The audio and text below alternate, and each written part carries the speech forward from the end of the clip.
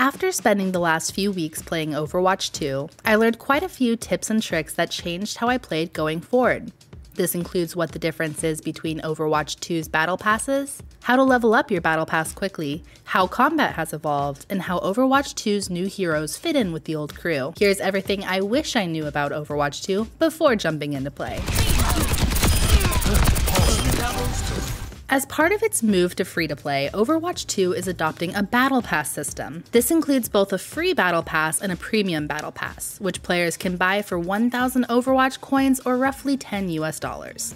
These battle passes will last the entire duration of an Overwatch 2 season, or roughly 9 weeks, and offer a wide assortment of cosmetics and other goodies players can earn simply by playing the game and progressing through the pass's 80 tiers. So, what are the differences between the two passes? For starters, players who purchase the Premium Battle Pass will have access to any new heroes instantly, whereas those using the Free Pass will have to wait until they hit Tier 55.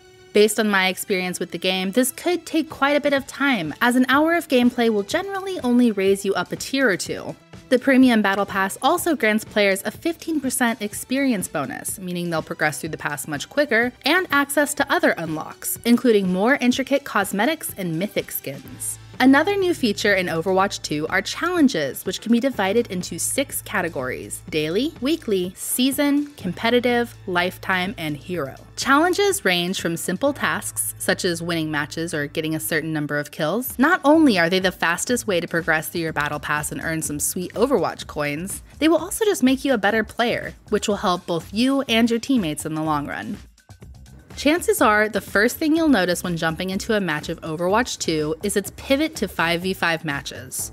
Whereas Overwatch featured six heroes on each team, generally 2 damage, 2 support, and 2 tanks, Overwatch 2 eliminates one of these tanks, shrinking each team by one and subsequently altering the dynamic of battle. Keeping this in mind, I urge players to focus on the objective.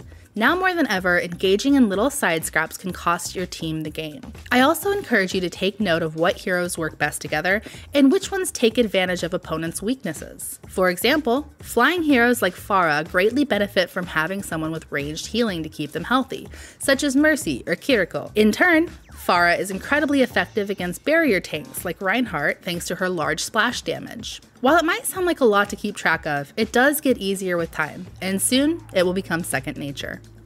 After years of fans longing for a way to merge their Overwatch profiles across various consoles, Blizzard is finally adding cross progression.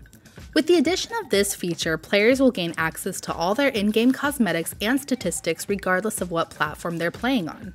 So, looking to transfer your Overwatch skins to Overwatch 2?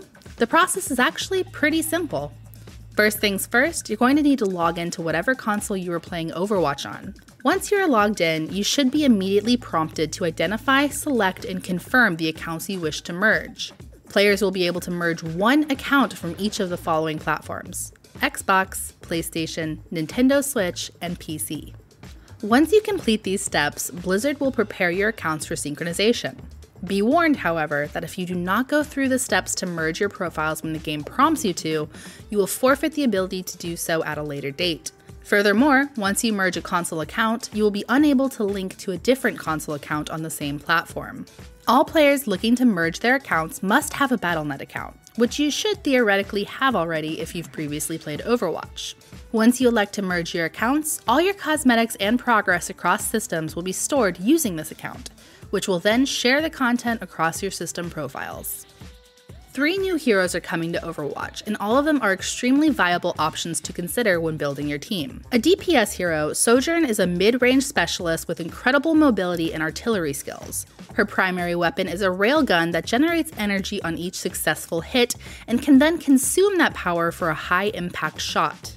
Much like Soldier 76, Sojourn specializes in dishing out moderate yet high speed damage from a medium distance. This makes her pretty effective at taking down tanks, but puts her at risk of snipers. Described as a fierce and resourceful survivalist, many of Junker Queen's moves are most impactful at close range, including Scattergun and Carnage. She also can inflict a status ailment, making it impossible for opponents to heal.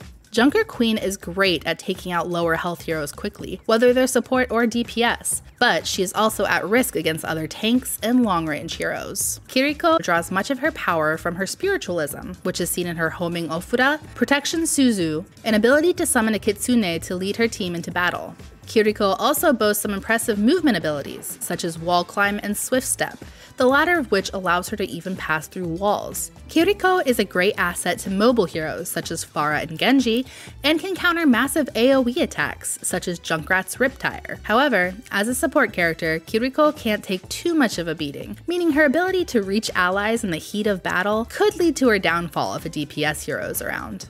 Although these three heroes might be the only fresh faces, that doesn't mean Blizzard didn't freshen up some fan favorites for the journey ahead. Many of the adjustments made to characters focus on making gameplay more aggressive and high speed. These include eliminating Orisa's shields, Mei's ability to freeze enemies, and Cassidy's flashbang. Furthermore, Bastion will be losing their ability to self heal, Doomfist is being converted into a much beefier tank, and Sombra will become significantly more deadly with reduced cooldowns and more damage dealing attacks. With all this in mind, my advice is this lean into what Overwatch 2 is encouraging, synergize, and play aggressively. So there you have it. That's everything we think you should know before heading into Overwatch 2. Be sure to follow GameSpot on social media for more Overwatch 2 coverage, such as comprehensive character guides and more. Thank you for watching, and we'll see you next time.